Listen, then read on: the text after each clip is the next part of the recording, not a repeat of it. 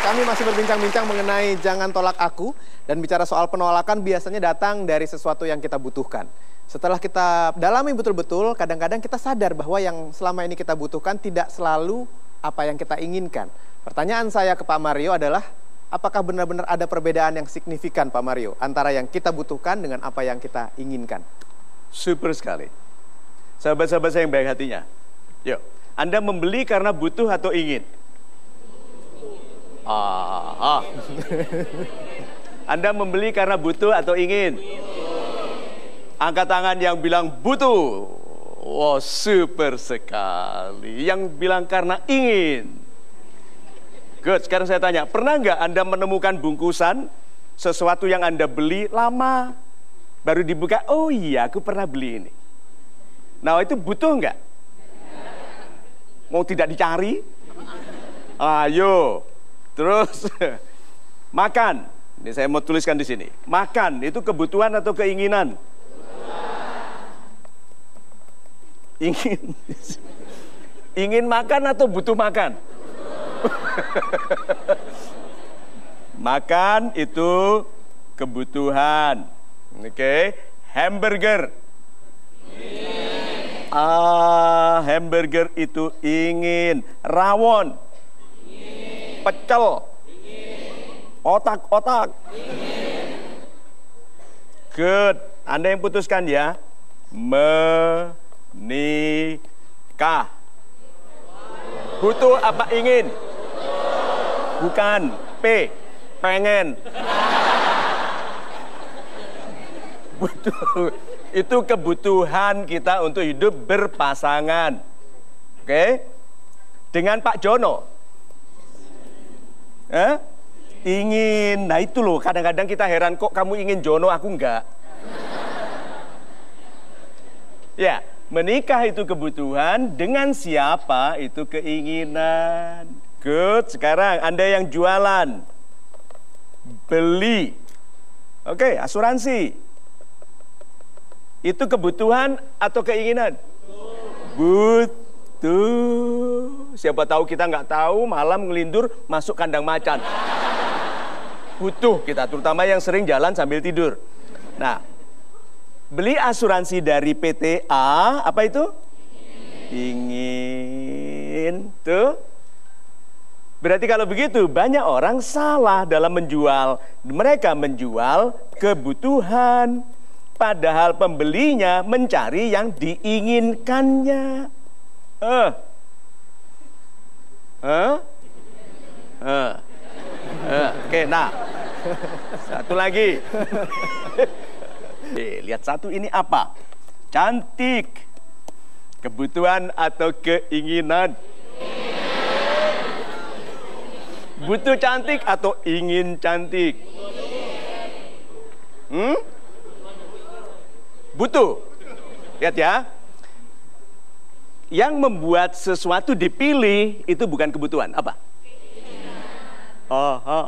Pernah lihat orang cantik tidak menikah-menikah?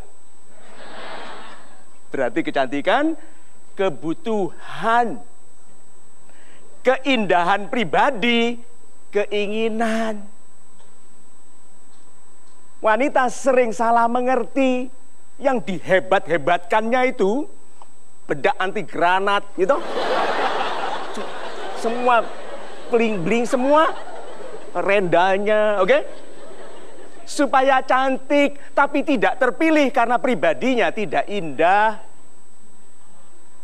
Aha, jadi jangan tolak aku, itu orang-orang stres karena hanya mempercantik diri, tidak memperindah perilaku. Simple sekali, banyak orang salah berfokus kepada kebutuhan. Padahal yang harus diputuskannya, yang dibangunnya adalah menjadi pribadi yang diinginkannya. Itu. Terima kasih. Baik, terima kasih Pak Mario. Penjelasannya super sekali. Dari saya sudah satu pertanyaan, sekarang saya kembalikan lagi kepada Anda yang sudah hadir di studio Metro TV. Siapa ya? Silakan Bapak.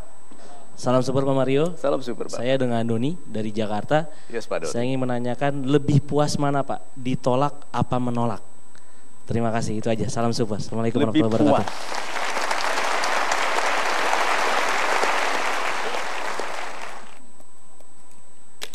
Lebih puas mana? Ditolak atau menolak? Anda yang jawab. Lebih puas mana?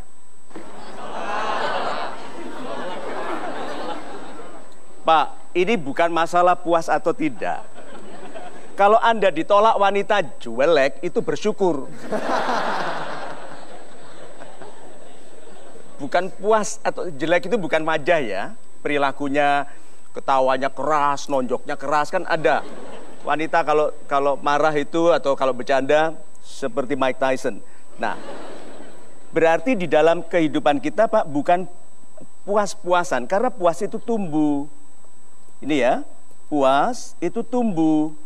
Karena yang namanya impian itu naik kalau didekati.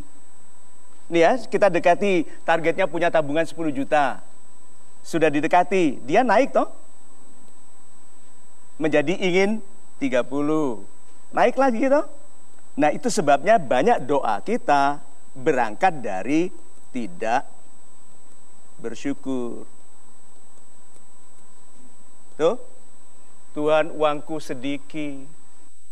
Berdoa itu harus mulai dari mensyukuri dulu.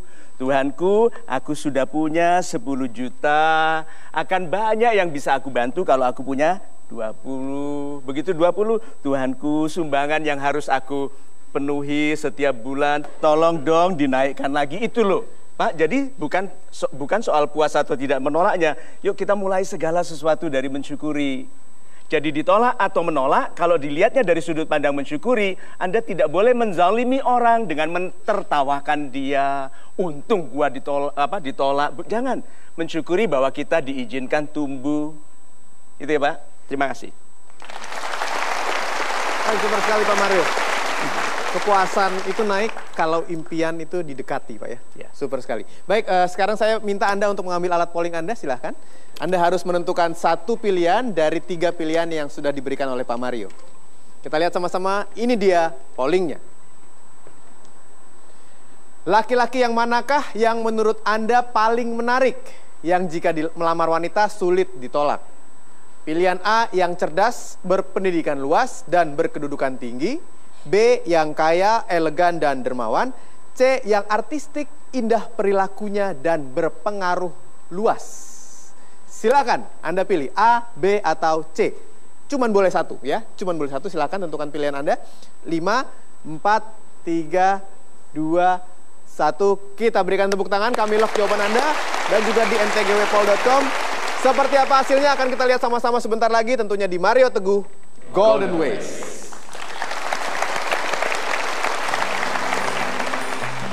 Kalau tahu caranya, tidak ada yang tidak bisa Anda capai.